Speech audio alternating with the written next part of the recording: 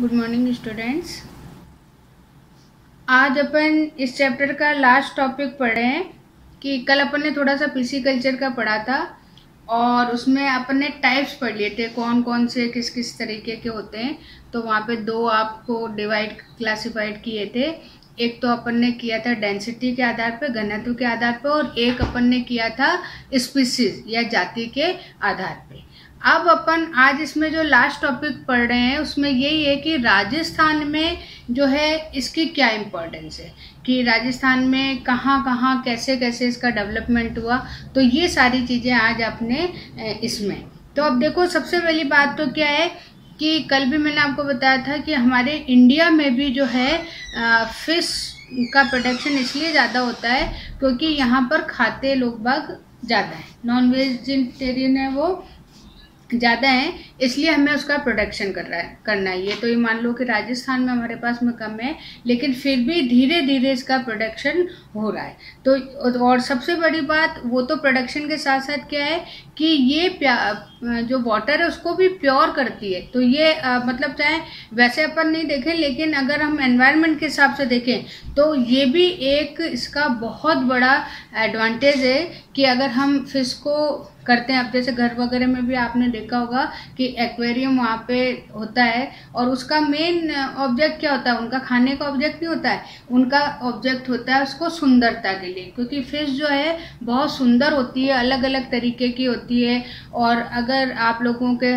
ने देखा हो तो उसको मेंटेन करना भी जो है बहुत टिपिकल होता है कि अगर थोड़ा सा भी उसमें पॉल्यूशन हुआ तो एक मछली मरी तो सारी मछलियाँ मर जाती है। तो इस तरीके से जो है हम उसको यूज़ करते हैं। दूसरा, अगर हम वैसे देखें गुड ओमन के हिसाब से, शुभ के हिसाब से तो मछली को सुबह सुबह देखना भी शुभ माना जाता है। गुड ओमिन है तो वो भी एक रीज़न है। हालाँकि हम साइंस इस चीज़ को नहीं मानते लेकिन मान भी लें तो क्या बुरा है। तो इसमें जो चीज़ है कि कुछ ऐसी चीज़ें हैं जो किसी और को अगर आ, नहीं हानि पहुँचा रही है तो उनको मानने में कोई बुराई भी नहीं है। तो अब आप ये देख लीजिए कि अगर आप घर पे एक्वेरियम रख रहे हैं तो उसमें आप एक तरीके का जो है इवोल्यूशन में भी भाग ले रहे हैं, क्योंकि आप उस अलग अलग वैरायटी को जो है आप डेवलप कर रहे हैं, आप उसको प्रोटेक्ट कर रहे हैं, आप उसका कंजर्वेशन कर रहे हैं। तो ये भी एक तरीके का हेल्प है किसमें? एनवायरनमेंट में या इवोल्यूशन में। तो ये इसका मेन ऑब्जेक्ट हो गया। अब यहाँ पे देखो जो राजस्थान है, उस राजस्थान में बहुत सारी जो है वैरायटीज़ हैं। और अभी अगर आपने थोड़ा सा देखा हो तो मछली के साथ साथ में पर्ल जो मोती है, उस मोती का भी प्रोडक्शन जो है किया जा रहा है। तो ये भी एक बहुत अच्छा जो है आगे जाके इसका फ्यूचर है। तो वहाँ पर इस चीज़ को फिशरी के साथ साथ में जो दूसरे हैं, उसको हम बोलते हैं कंपोजिट तो यहाँ पे फ़िश के साथ में और भी जो एक्वेटिक एनिमल्स हैं उन एनिमल्स को भी हम डेवलप कर सकते हैं। और उसका भी फ्यूचर बहुत अच्छा है जिसमें पर्ल्स बनाए जा रहे हैं। और अगर आ, थोड़ा सा है तो हमारे ही किरण स्कूल का एक प्रीवियस स्टूडेंट है सीताराम मीणा जिन्होंने हिंगोनिया में ये बहुत अच्छा प्रोडक्शन कर रखा है। और इसमें बात पैसे की नहीं है, लेकिन ये है कि काफ़ी अच्छा फ्यूचर यानी कि फॉरेन कंट्रीज़ के जो लोग बाग हैं, वो बहुत इसको लाइक करते हैं।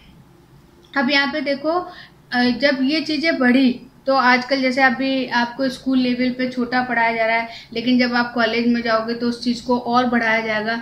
तो इस तरीके से इस फिशरीज़ को या इसके जो प्रोग्राम है, उस प्रोग्राम को हमारे एकेडमिक सिलेबस में, यानी हमारे जो शैक्षणिक पाठ्यक्रम है, उसके अंदर भी इसीलिए इंक्लूड किया गया ताकि अभी जैसे मान लीजिए आपने एग्रीकल्चर लिए तो आप सोचते हो अब हम आगे जाके क्या करेंगे? बीएससी हमने कर लिए।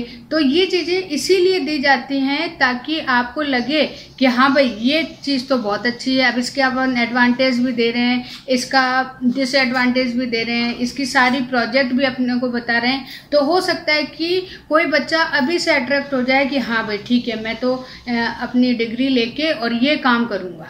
तो इस तरीके से जो है, ये टॉपिक्स इसीलिए रखे जाते हैं ताकि आप इसको अपना फ्यूचर भी बना सकें। अब इसीलिए जो है, ये सारी चीज़ें।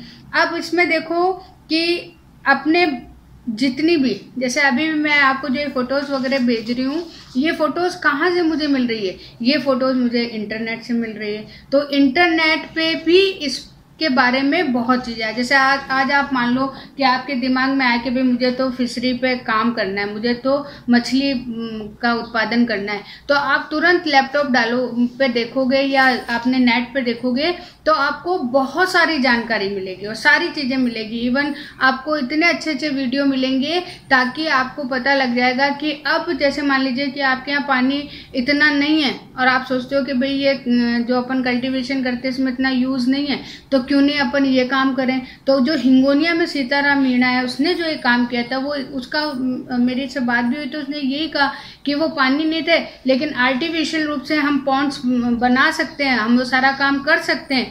तो इसलिए जो है ये काम हम कर रहे हैं। तो ये जो चीज़ें हैं, ये सिर्फ़ इसीलिए हैं ताकि आप इसमें रुचि लें और अपना सेल्फ जो है बिज़नेस को स्टार्ट कर सकें। फिर यहाँ पे देखो कि हमारे पास में जो है आ, ये थोड़े से राजस्थान में पानी की कमी है लेकिन फिर भी हम रेनी सीज़न में इतना वाटर जो है स्टोर कर सकते हैं कि हमें ये प्रॉब्लम नहीं आएगी। जैसे मान लीजिए कि आज गाँव से लोग बाग आ रहे हैं। अब उनसे कहो भाई क्यों आ रहे हो आप शहर में? तो कहते हैं भाई हमारे यहाँ तो पानी नहीं है हमारे यहाँ तो खेती नहीं होती हम कुछ कर नहीं सकते। वहीं पे जो है कुछ हमारे पास में ऐसे प्रोसेस हैं कि हम पानी को भी नेग्लेक्ट कर सकते हैं। अगर आप जोधपुर वगैरह के रीजन में जाओ तो वहाँ पर बारिश के टाइम में इतना पानी स्टोर कर लिया जाता है कि वो साल भर उसका यूज़ कर सकते हैं। तो हम क्यों नहीं ये काम कर सकते? तो इस तरीके से हम वाटर कंजर्वेशन करके इस जो प्रॉब्लम है, इस प्रॉब्लम को भी सॉल्व कर सकते हैं। तो पानी की समस्या भी जो है, वो कम हो जाएगी। फिर उसके बाद में हमारे राजस्थान में फ़िश की ये मान के चलिए कि सिक्सटी वेराइटीज़ हैं। तो इतनी सारी वेराइटीज़ का हम प्रोडक्शन कर सकते हैं। और कल जैसे पाँच तो मैंने आपको बताई थी, बाकी और भी हैं, नरेन है, बारह है। तो बहुत सारी जो फिशेज़ हैं, उन फिशेज़ को हम यहाँ पर यूज़ यानी सिक्सटी परसेंट है तो हम कम से कम दस वेराइटी को तो डेवलप कर ही सकते हैं। उसके बाद में अगर हम देखें तो हमारे राजस्थान में इस समय जो फिशरी ये पीसी कल्चर है या फिशरीज है, वो उसके लिए कम से कम जो एक्वेटिक रीजन है, जो जल क्षेत्र हैं, वो कितने हैं? Fifteen thousand eight hundred thirty eight और अगर उनसे छोटे छोटे जैसे ये तो मैंने थोड़ा आपको बड़ा वो बता दिया, लेकिन अगर हम स्मॉल स्केल पे देखें तो लगभग इसके लिए एरिया कितना है? Four lakh twenty three thousand seven hundred sixty five hectare इतने जो एरिया है इस एरिया में राजस्थान में इस पर बहुत अच्छा काम चल रहा है। फिर उसके बाद में देखो कुछ यहाँ डेटा भी दिए हुए हैं। इन डाटा में आप देखो 2010 टू 11 में जो फ़िश प्रोडक्शन था वो था 28,200 टन इतना था। और धीरे धीरे, ये मान के चलो कि हर साल, ये तो दस, ग्यारह का मैं बता रही हूँ, इस समय अपना चल रहा है बीस, यानी दस साल। तो अगर आप इस प्रोडक्शन को कम से कम बारह, तेरह परसेंट से बढ़ाते चलें तो ये बहुत ज़्यादा परसेंटेज यहाँ पर अब बढ़ जाएगा। अब यहाँ पे देखो, उसके बाद में, क्योंकि जो बुक में डाटा दिए हुए हैं, वो डाटा बहुत पुराने हैं तो यहाँ पे जो आप ये मान के चलो कि इन सब में आप 10 से 15 परसेंटेज को उसको बढ़ा सकते हो इजीली कहीं कोई दिक्कत नहीं फिर उसके बाद में अगर हम अपने एरिया में देखें तो लगभग वन सेवेंटी सिक्स तो हमारे पास किलोग्राम पर हेक्टेयर तो बहुत बड़े बड़े पौंड हैं। और उसके बाद में अगर हम मीडियम साइज़ के देखें तो हमारे पास में 1125 केजी पर हेक्टेयर जो है वो मीडियम है। और अगर हम छोटे की बात करें तो 1675 केजी जो है वो हमारे पास में छोटे हैं। और इसके अलावा हमारे पास में बहुत छोटे छोटे जो आप, जिसको आप कह सकते हो पर्सनल पॉन्ट्स भी हैं। और उनकी क्या है 2005 50 केजी पर हेक्टेयर। तो ये हमारा जो है एवरेज प्रोडक्शन है, जिसमें कि हम इजीली जो है फ़िश को कल्चर कर सकते हैं। फिर यहाँ पे जो इम्पोर्टेंट है, ये क्वेश्चन आया भी है कि what is pilot project pilot project क्या है? तो जो फिफ्थ फाइव ईयर जो प्रोजेक्ट या प्लान था, उस प्लान में एक प्रोजेक्ट बनाया गया और उसका नाम रखा गया पायलट प्रोजेक्ट। अब इस पायलट प्रोजेक्ट में, हमारे राजस्थान में, ये पायलट प्रोजेक्ट स्टार्ट किया गया था भीलवाड़ा से। और ये हुआ था 1976 में, भीलवाड़ा में स्टार्ट हुआ था। तो उसको अंडरलाइन कर लेना, क्योंकि पायलट प्रोजेक्ट का क्वेश्चन पहले भी पूछा गया है। और धीरे धीरे ये मान के चलिए 96 97 तक ये भीलवाड़ा के साथ साथ 15 डिस्ट्रिक्ट्स में और भी स्टार्ट किया गया। और जो रिसेंट डाटा है, वो भी मैं आपको अभी दे रही हूँ। तो ये तो कुछ पुराने हैं, बाकी रिसेंट डाटा मैं इंटरनेट से जो मैंने निकाले हैं, उस हिसाब से आपको भेज रही हूँ। फिर उसके बाद में देखो, ये जब काम बहुत अच्छा होने लगा तो एक आपने नाम सुना होगा सब्सिडी सब्सिडी क्या होता है कि जब गवर्नमेंट क्योंकि अब जैसे मान लीजिए अब मैं किसी को कहूँ कि भाई तुम करो तो कहेगा पैसे ही नहीं है, हमारे पास ज़मीन ही नहीं है। तो ये जो चीज़ है, इन चीज़ों को जो है आप कह कह सकते हो कि इम्प्रूव करने के लिए, इसको बढ़ाने के लिए गवर्नमेंट जो है बहुत सारी सब्सिडी देती है। हम लोगों को इतनी नॉलेज नहीं है और वो सब्सिडी इसलिए दी जाती है ताकि अगर हमारा राजस्थान की इकोनॉमी बढ़ेगी तो पूरे इंडिया की बढ़ेगी। तो यहाँ पे इन चीज़ों को रखते हुए गवर्नमेंट कुछ ऐसे प्लान करती है, ऐसे प्रोजेक्ट करती है, जिससे कि धीरे धीरे जो है इकोनॉमिक वैल्यू बढ़ती है। तो इसके लिए अनुदान सब्सिडी को बोलते हैं, अनुदान भी दिए जाते हैं। तो चाहे रूरल एरिया में आपने देखे हैं कि ग्रामीण बैंक वगैरह होते हैं रूरल बैंक वगैरह होते हैं तो वहाँ पर आप इसके लिए पैसा भी इजीली ले सकते हो। और फिर उसके बाद में देखो ये प्रोडक्शन के लिए भी है। अगर आपका कोई प्रोग्राम चल रहा है, उसमें ज़्यादा अच्छा नहीं, जैसे मान लीजिए कि आपके, आप कहते हो कि और भी हमारा प्रोग्राम तो चल रहा है, लेकिन उसमें और भी फैसिलिटी चाहिए, और भी उसको हमें बढ़ाना है तो उसके लिए भी जो है गवर्नमेंट बहुत सारी जो है पैसे या सब्सिडी देती है। अब उसके बाद में ये तो थोड़ा सा इसका अपने राजस्थान का हो गया। फिर यहाँ पे देखो कि जैसे अपने खेत होते हैं तो हम जो प्लांट वगैरह हैं उसके लिए तो हम खेत बोलते हैं लेकिन अगर हम फिशरीज के देखें तो उसको हम बोलते हैं बीज खेत या इंग्लिश में हम बोलते हैं हैचरीज तो अब ये जो है हैचरीज ये क्या है कि गवर्नमेंट जैसे आ, अपना खाद्य निगम है ये बीज वाला तो उसी तरीके से जो अंडे हैं मछली के, उन अंडों को भी हम क्या बोलते हैं, बीज बोलते हैं। और वो थोड़े से जब डेवलप हो जाते हैं छोटे छोटे तो इस तरीके से जो जैसे अपने बीज को प्रोटेक्ट किया जाता है प्लांट के, वैसे इनको भी रखा जाता है। और कोई अगर चाहता है तो इन बीजों को या जो मछली के अंडे हैं या उससे जो बाहर निकले हुए हैं तो उनको इजीली ले जाके और चीज़ को भी ग्रो कर सकता है। जैसे हमें कोई प्लांट उगाना है तो हमें क्या चाहिए? बीज चाहिए? तो उसी तरीके से अब हमने पौंड बना लिए तो उस पौंड के लिए अब हम इंतज़ार तो नहीं करेंगे, मछली खुद आएगी। हम क्या करेंगे? उसके लिए उसके अंडे लाएँगे, उसके बच्चे लाएँगे। तो ये काम भी जो है गवर्नमेंट करती है और उन्हें ऐसी जगह को हम क्या बोलते हैं हैचरीज और यहाँ पे देखो कुछ एग्ज़ाम्पल भी दिए हुए हैं। उदयपुर में है पीसी कल्चर के लिए कॉलेज है।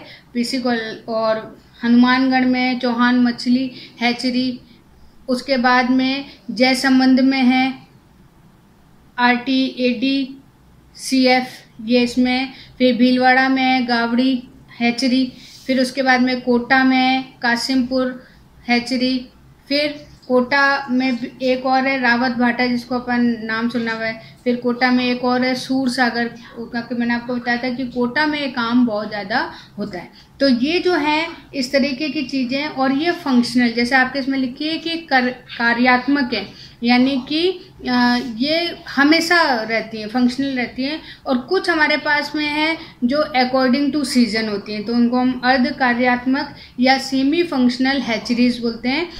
अब देखो, इसके बाद में अपनी लास्ट बच रही है कि इसका मत्स्य पालन का महत्व क्या है। क्या?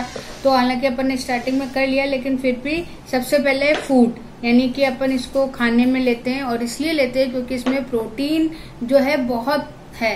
और उसके साथ साथ में विटामिन ए भी है डी भी है आयोडीन भी है तो इसलिए जो है फ़ूड में इसका बहुत ज़्यादा यूज़ किया जाता है। और इससे क्योंकि प्रोटीन आपको पता है बॉडी बिल्डिंग होती है तो इसलिए जो है बच्चों को या प्रेग्नेंट लेडीज़ हैं या ओल्ड लोग बाग हैं उनमें ज़्यादा इसको आ, उनको खिलाया जाता है। या जैसे वीकनेस जिनको आती है बहुत लंबी बीमारी वगैरह से उठे तो फॉर जो है प्रोटेक्शन इनको यहाँ पर यूज़ किया जाता है। फिर है मछली का तेल जो है ऑयल है, कुछ फ़िश है, जैसे आपने पहले भी एग्ज़ाम्पल में बताई थी कि उनसे फैट निकाला जाता है ऑयल निकाला जाता है और ये ऑयल जो है बहुत अच्छा होता है एज ए टॉनिक है और उसको मसाज में जो है, मालिश के तेल में यूज़ किया जाता है। बाकी आजकल जो है, कुछ ऑयल के, इनके कॉर्ड लिवर ऑयल जो है, इनके कैप्सूल्स भी आते हैं तो वो वीकनेस के लिए यूज़ किए जाते हैं। फिर यहाँ पे देखो फिर है मत्स्य चून जो फ़िश है उसका पाउडर है और ये पाउडर भी एज ए टॉनिक दिया जाता है। प्लस एनिमल्स में के फ़ूड में भी आजकल जो है फ़िश का पाउडर जो है यूज़ करते हैं क्योंकि उसमें प्रोटीन ज़्यादा है। तो हमारे साथ साथ जो हमारे एनिमल्स हैं, अब जैसे डॉग वगैरह हैं तो आप देखो उनके लिए अलग से जो है कुछ जेली वगैरह आती है तो उसमें जो है वो फ़िश को यूज़ करते हैं। तो इस तरीके से ताकि उनका भी जो है हेल्थ वाइज वो उनके लिए अच्छी रहती है Yeah.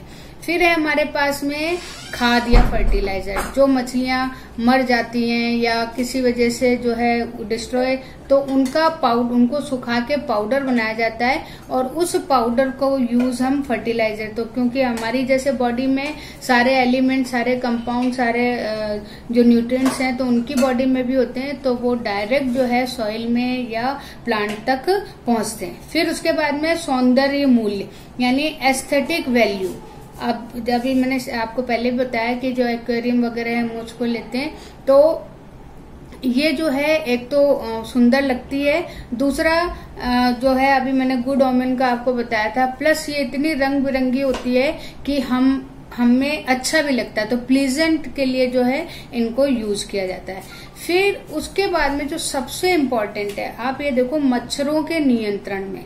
यानी कि जैसे मलेरिया का जो आपको पता है कि लार्वा वगैरह होता है एनोफ्लीस का, वो कहाँ होता है? पानी में होता है। और इसके लिए जो है, आजकल कुएँ में, तालाबों में कुछ फिशर्स को डाला जाता है ताकि उस मच्छरों के लार्वा को ये खत्म कर सके। और इसमें ये इनकी जितनी जो एग्ज़ाम्पल है, उनको आप कर भी लेना। याद, गम्बूजिया है पेनकस है हैप्लोकाइट्स है ट्रोकोगेस्टर है तो ये कुछ फ़िश हैं जिनको हम एनोफ्लीज या जो भी मच्छर है, उस मच्छर के लार्वा इनको पसंद है तो इसलिए उनको खाने के लिए डाला जाता है और हमारे दोनों काम हो जाते हैं, इनका फ़ूड हो जाता है और हमारे पास में जो ये हार्मफुल इंसेक्ट है, उनका प्रोडक्शन क्या हो जाता है, कम हो जाता है। फिर हमारे पास में है वैज्ञानिक मूल्य साइंटिफिक वैल्यू अब ये देखो कि आपको पता है कि फ्रॉग फ़िश ये जो है, इनको हम लैब में बहुत यूज़ करते हैं, क्योंकि ये इजीली अवेलेबल है और इनमें बहुत सारी वेराइटीज हैं।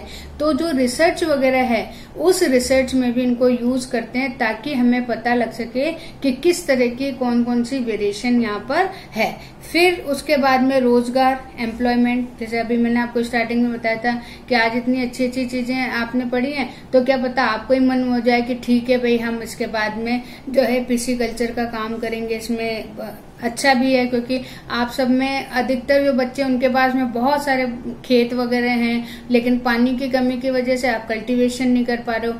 तो क्यों नहीं वहाँ पे जो है हम आर्टिफिशियली पॉन्ड बना के ये प्रोग्राम को कर सके? तो इसमें हमें प्रोडक्शन मिलेगा, पैसा मिलेगा इकोनॉमिक मिलेगी, और गवर्नमेंट इसको बहुत ज़्यादा जो है हेल्प करती है इसमें। तो ये जो है, हम इसको एज ए एम्प्लॉयमेंट या रोज़गार के रूप में भी ले सकते हैं। फिर हमारे पास में, जब हमारे पास में एम्प्लॉयमेंट अच्छा हो जाएगा तो हाँ अप, अपने साथ साथ गाँव की भी दे अपने स्टेट की भी देश की भी सबकी इकोनॉमी क्या होगी बढ़ेगी। तो ये एक आय का स्रोत भी हो सकता है। और जो लास्ट है ठीक है इसमें हालाँकि आप एग्रीकल्चर में पढ़ चुके हो कि प्रोडक्शन ऑफ़ फ़िश क्या कहलाता है? ब्लू रेवोल्यूशन नीली क्रांति। तो इसको जो है, ये भी आपको ध्यान रखना है। आपने एग्रीकल्चर में बहुत रेगुलेशन पढ़े हैं कि पीली क्रांति क्या है ब्लू क्रांति क्या है, हरी क्रांति क्या है। तो ये आता भी है अक्सर कंपटीशन वगैरह में। तो मछली का जो प्रोडक्शन है, वो प्रोडक्शन क्या कहलाता है? ब्लू प्रोडक्शन या नीली क्रांति ब्लू रेवोल्यूशन ठीक है? तो ये आज आपका चैप्टर कंप्लीट हो गया। अब कुछ ही चैप्टर्स हैं जो बच रहे हैं आपके तो थोड़ा सा आप लोग अपनी स्पीड बढ़ा के इसको कंप्लीट करें। Okay thank you